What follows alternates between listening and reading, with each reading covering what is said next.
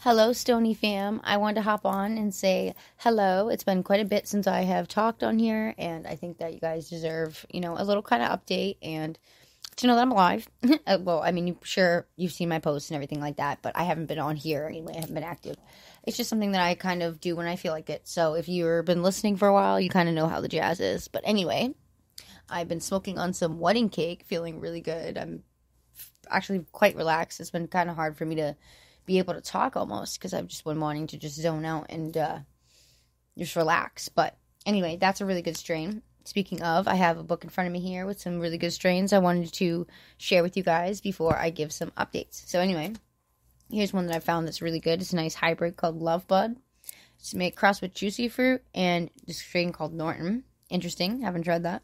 It's like 18 to 22% THC, can taste a lot like pineapple, mango, berry, and like coconut, kind of like some diesel undertones to it.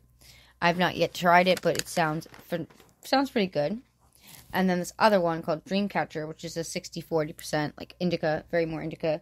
It's got blackberry, I'm sorry, blueberry crossed with black domina and blue chronic.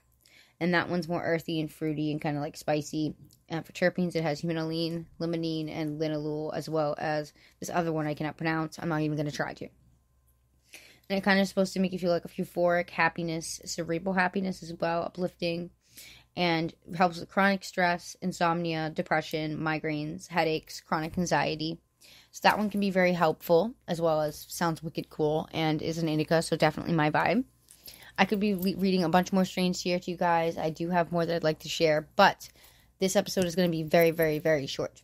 I only wanted to update you guys, maybe give you a little quick uh, little quick couple strains that I wanted to share with you guys that I've been like looking at that I really wanted to try, and um, let you guys know kind of what's been going on. So real quick, I have I have moved. I have had a lot of things going on in my family life, my basically like my relationships with others, just a lot going on. Some positive, some negative, as life can be. But it's just been harder for me to hop on and do these types of podcasts because I was really lacking the motivation to to really keep up with this. So that is kind of been has been changing. I've been switching up gears, and like I said prior a while ago, there would probably be other people hopping in and talking with me. That's going to be potentially happening very very soon, which is also why I wanted to cut this short. So I'm super duper excited about that if that happens because it's something that I've been really excited to be doing. And this person that I hopefully will be working with is an amazing person, super knowledgeable, beautiful, awesome all around. And I think everybody would be very pleased to hear from them. So that's all I'm going to say. So don't give anything else away or, you know. But that's what I wanted to share. On top of it, I've been super, I don't know if anyone else can tell, but I've been like obsessed back again with Hello Kitty since I went to the cafe it was so fun to go to that little truck and get all those little goodies and there was just so much fun. I wish i could go and do it again uh, a lot sooner than it probably would take because i'm assuming it'd probably be another year till they come back around but it was very very fun and i had a really good time. And it kind of brought back all those emotions that i had when i was younger.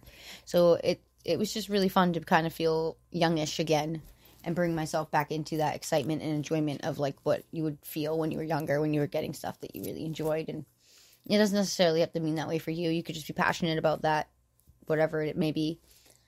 But for me, it was just that, and on top of that, because I, when I was younger, I didn't really get to have a collection of anything that I really enjoyed. So as I got older, I kind of started collecting things that I was able to finally do so uh, that I wasn't when I was younger. So that of which would be one of them. So that's all I wanted to share with you guys. I'm going to hop off. I have a lot of things to do today, but that's what I wanted to share with you guys. And thank y'all for listening. I really do love everybody that does listen, hops in, tunes in. Hope that you all have an amazing day and stay choking, stay stoned, and uh, it's good talking to you guys. And I will be back very soon.